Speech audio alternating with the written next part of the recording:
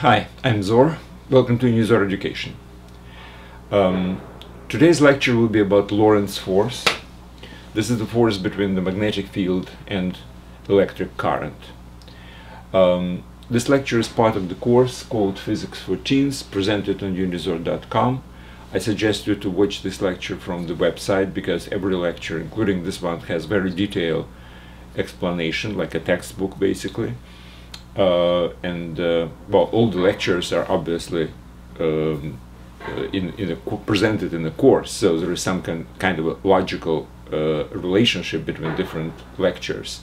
So it's always good to go sequence in, in sequence lecture by lecture, so you know exactly exactly uh, what I'm talking during any lecture because you have listened to the previous one and I'm referring. Now, on the same uh, uh, website, there is a Math for Teens course, which is very important for physics, um, especially vectors and uh, calculus are used in physics everywhere. Okay, so Lorentz force. Um, let me start with some repetition of what I have done in the previous lecture. We were talking about Ampere model of magnet of magnetic forces. So if you have, let's say, a straight line bar magnet, north and south. Now, the Ampere's model was related to um, little electrons which are um, rotating around the nucleus. Now, if all um, atoms inside the magnet are aligned in such a way that electrons are rotating around parallel axis everywhere in this magnet. And the planes of rotation obviously are parallel to each other. And rotation is in exactly the same direction.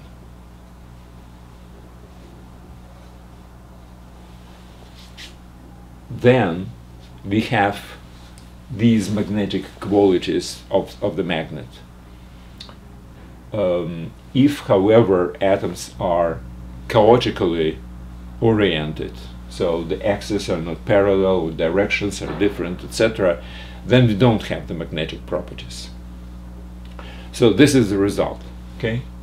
The magnetism results in um, some kind of a synchronousness of the movement of the electrons inside the, mag uh, the, the, magnet. Now, what Ampere did next was, let's just make a cross section of the magnet. Well, and if we will view it from the top, we will see orbits of electrons.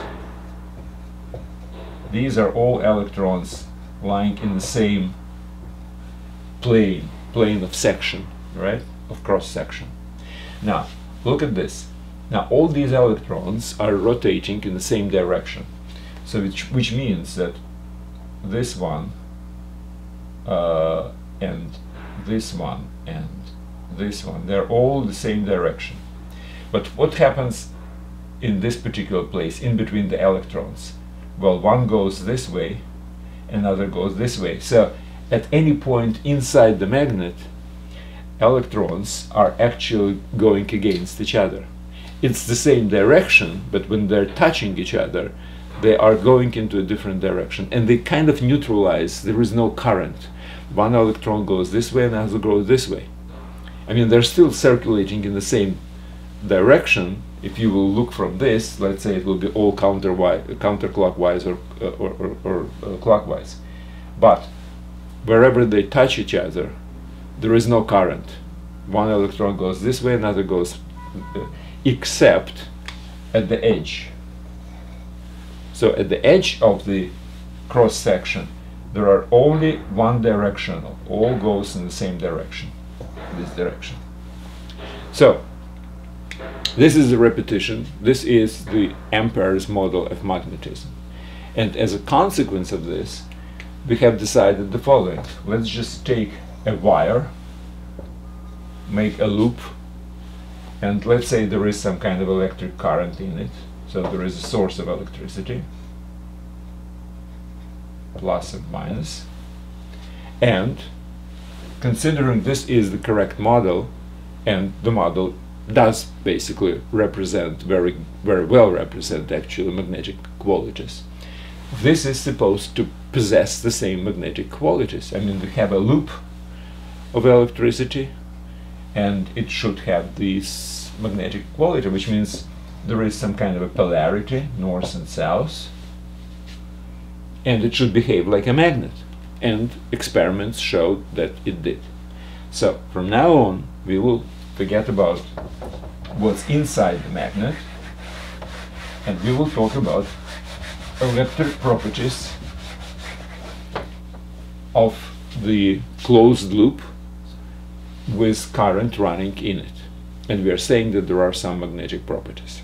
Well, what does it mean that it has magnetic properties? Well, for example, if you will take, a, let's say, an arrow of a compass, it will orient itself along the magnetic uh, lines of the Earth, because Earth is a giant magnet.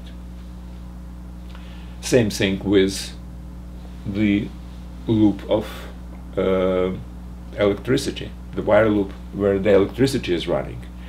If we will allow it, let's say we put it on some kind of a floating device and put it in the water.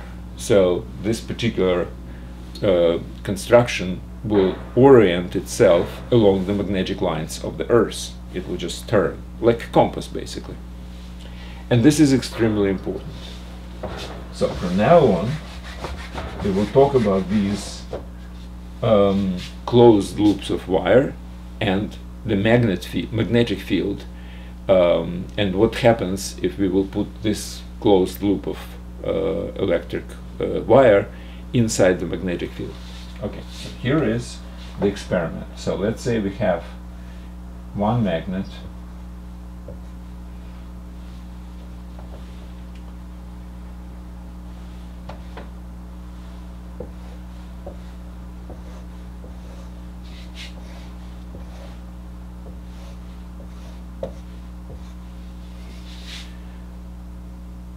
not sure I'm good uh, represent representer of the pictures, but in any case, I think I don't need this one, this piece. Let's say this is the only thing which I have. And it goes like this.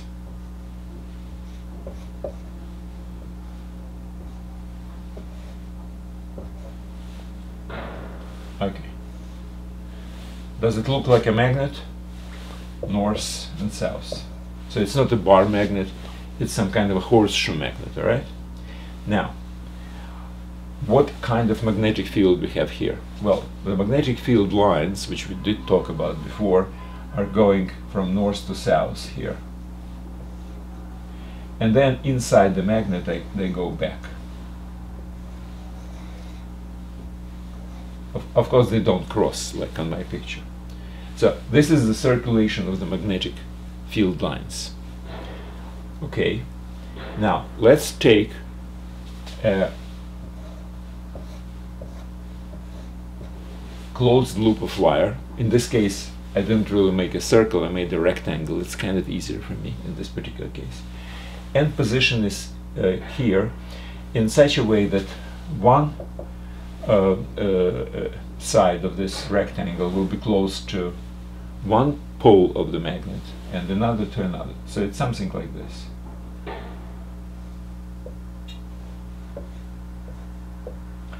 Now, let's assume that there is an electric current uh, which is going here. I will not I will not draw a source of electric current like here plus and minus but we assume that there is some kind of a source here all right so there is an electric current which is running in this uh, rectangular wire loop okay?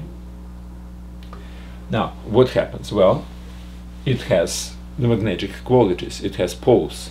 Now if I will look from this side and uh, if direction is uh, from plus to minus is this way then the uh, north-south line will be perpendicular to this loop, right?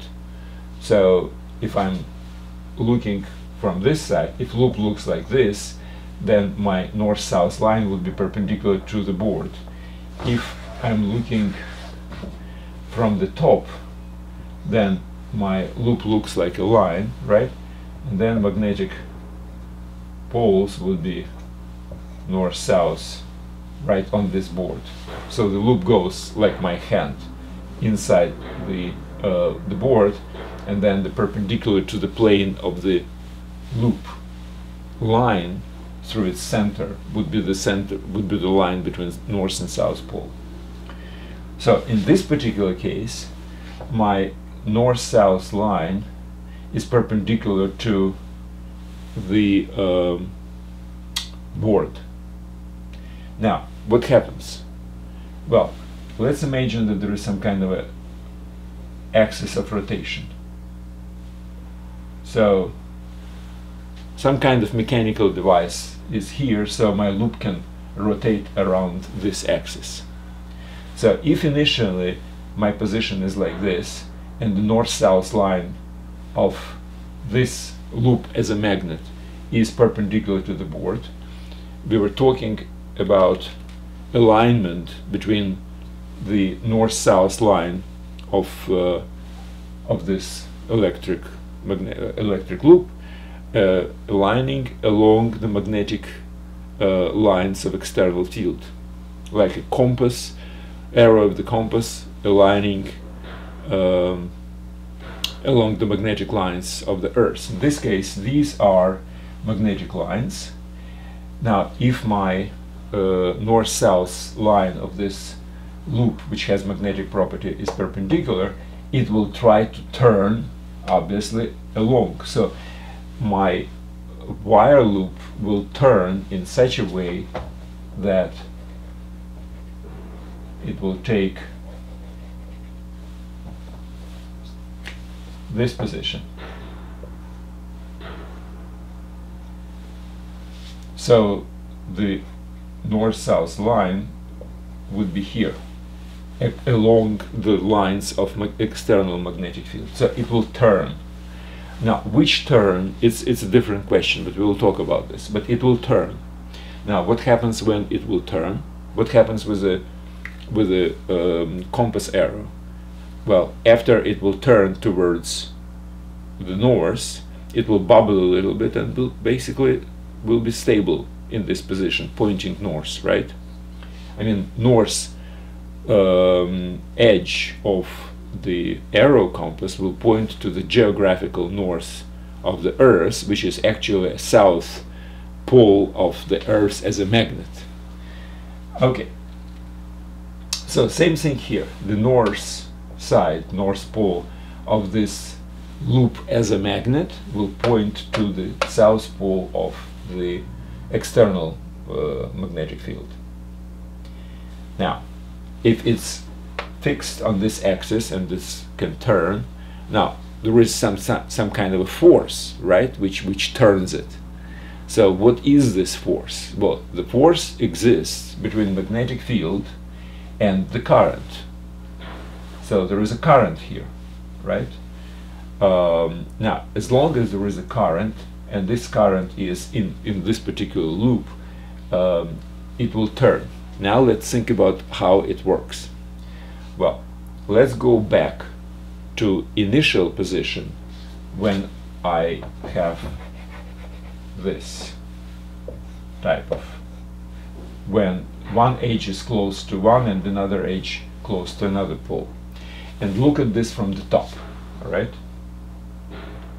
so what do we see from the top from the top we will see our wire loop as a line and I have two spots for the poles. Okay, so that's what we will do.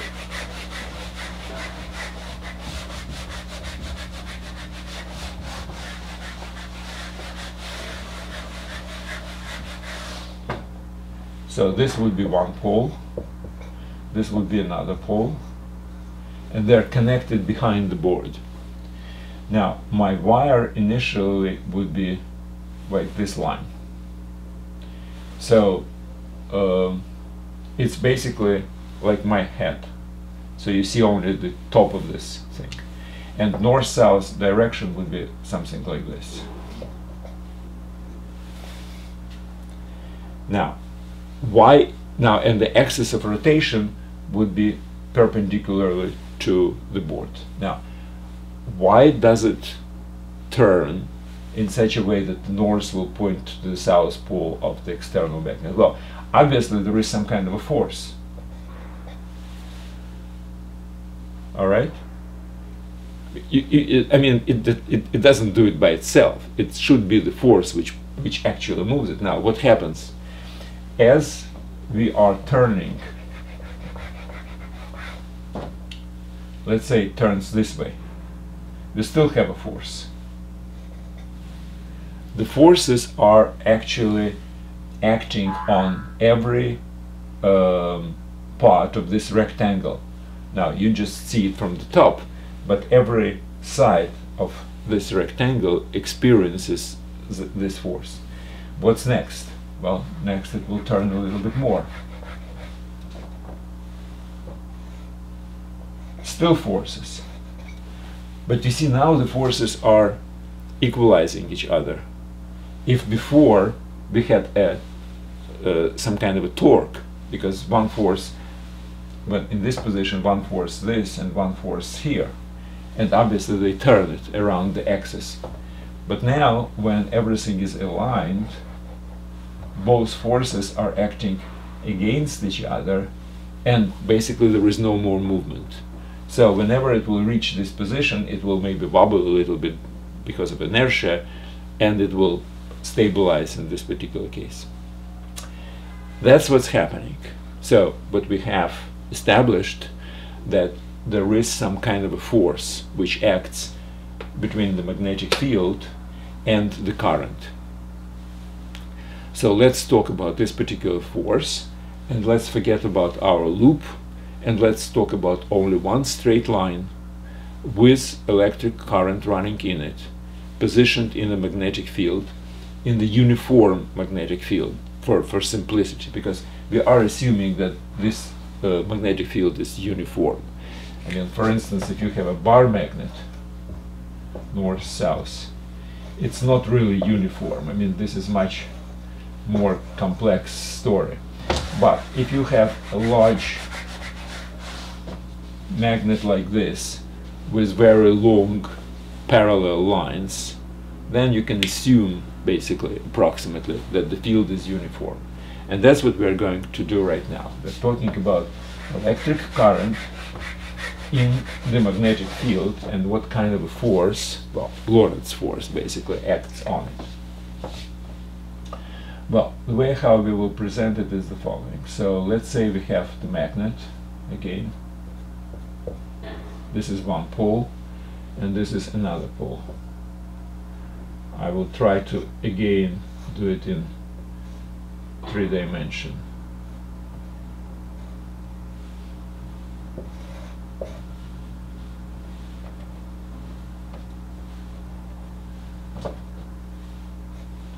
Okay, let's say this is north, this is south. So these magnetic lines are like this. Now, let's consider that our wire is like this. This is the direction of the current. Well, we were talking that electric wire, well, if you have a loop, then you have, for instance, in a rectangular form, then you have four different segments of the wire with current running in different direction. So experiment shows that if you have a wire with a current running in it, in a magnetic field like this, there is a force which acts actually on this particular wire and the only thing which we have to establish is the direction of this force.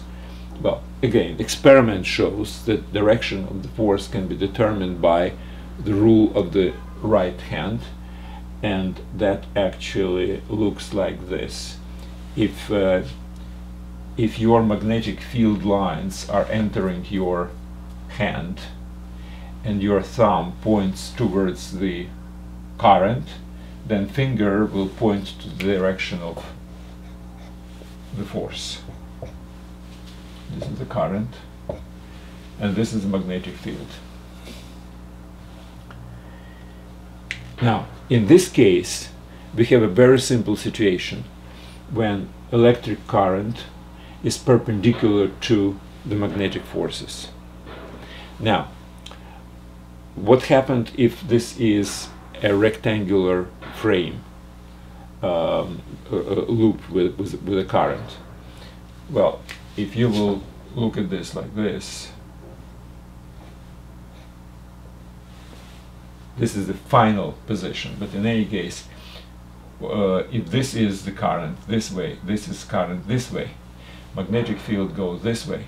So if you will use this rule of the right hand, then magnetic uh, force, well, Lorentz force actually, which acts on this one and on this one, would be perpendicular to both, okay? So again, force is perpendicular to both lines of the magnetic field and the current line. So if this is current and this is magnetic force, then the perpendicular to both would be towards this direction and in this case towards this direction. So if this loop is in this position, both forces are neutralizing each other. But if it's turned a little bit, then there is a moment which turns it around. So in any case, depending on, and, and by the way, there is a current here as well, right? And there is also the force. It's perpendicular to both. In this case, it goes up, in this case, it goes down. And again, in this final position, all four forces are neutralizing each other.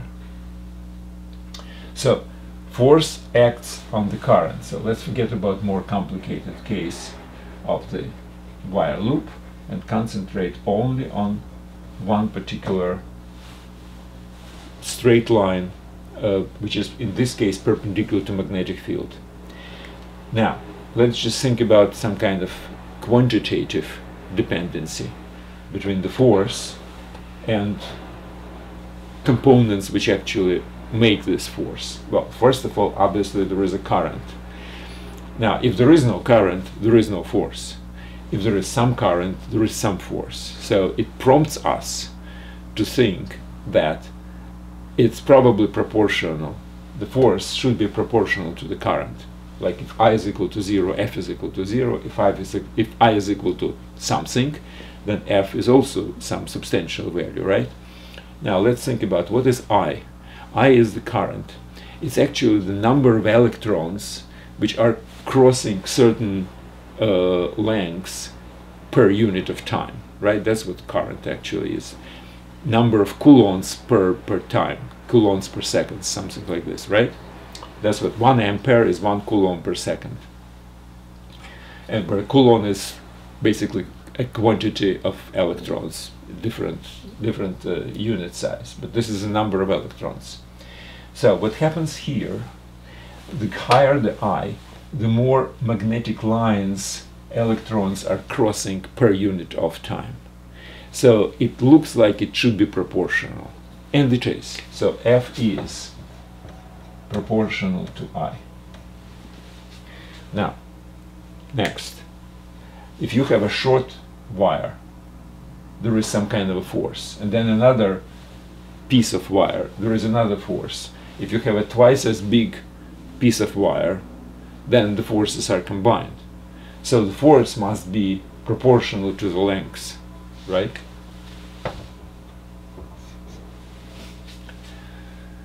And finally, there is something which is a strength of the magnetic field, which we don't really know what it is, but definitely, if you have a stronger magnet, and again, experiments show that this is true, stronger magnet pushes stronger, right? So there is also some kind of a characteristic which we can call a strength of the magnetic field, or just magnetic field, or intensity of the magnetic field. Probably intensity would be a better term. So there is something which characterizes the intensity of the magnetic field and we can put the equal sign here in this particular case. Now, let's think about a little bit more. If I will turn the wire, so instead of this,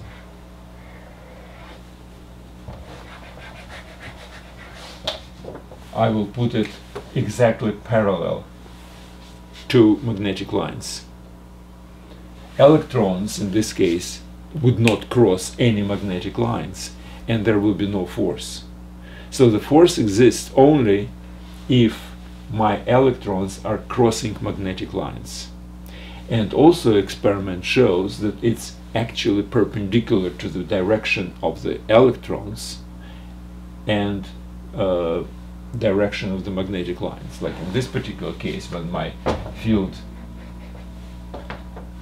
my, when my field is perpendicular to line, the force is perpendicular to both of them. Now, what does it remind you? That one vector is perpendicular to two other. It's actually a vector product. And obviously, it should be proportional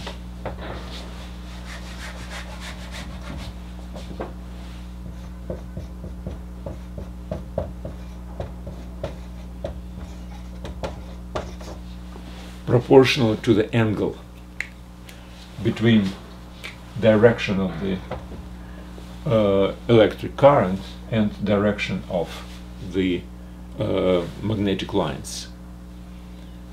Because if there is parallel, phi is equal to zero between them, so the angle, uh, uh, then the result is zero. If they are perpendicular, that's the largest force because the largest number of magnetic lines are crossed by electrons per unit of time. And then the sine is maximum for 90 degrees perpendicular and that would be just so if B is absolute value of the magnetic strength and phi is an angle between the direction of the current and direction of the magnetic lines then this is the value of the force. Obviously in certain units of measurement right but we don't have the units of measurement of the B right yet good, we will introduce these units of measurement exactly from this formula. And we're saying that the unit is equal to 1. In this case, we call it Tesla, obviously to honor the guy by the name Tesla. So 1 Tesla, it's such a field that will give me 1 Newton if it's 1 ampere times 1 meter. 1 Tesla.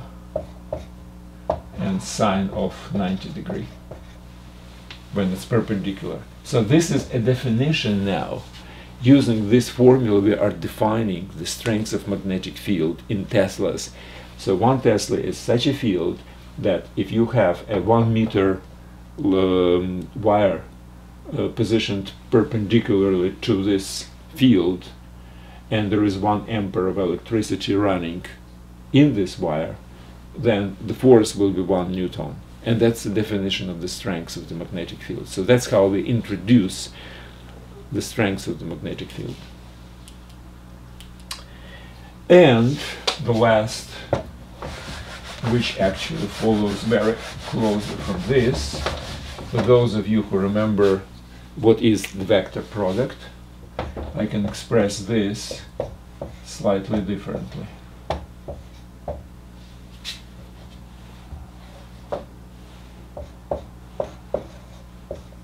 Because I and B are vectors. B is a vector directed from north to south and I is from plus to minus. And if you have a vector product, well L in this case is just a, scalar multiplier. So if you will multiply uh, as a vector product. And what is the vector product? Well, it's vector which is perpendicular to both of them, and its magnitude is equal to magnitude of one, magnitude of another, and the sine of the um, angle from one to another. So this is basically the formula for Lorentz force. I do suggest you to read the notes for this lecture. So you go to unizor.com, go to physics for teens, um, electromagnetism, and uh, in uh, in the section uh, which will be presented to you, you will find the Lorentz force lecture, among other magnetism-related lectures. Well, that's it for today. Thank you very much, and good luck.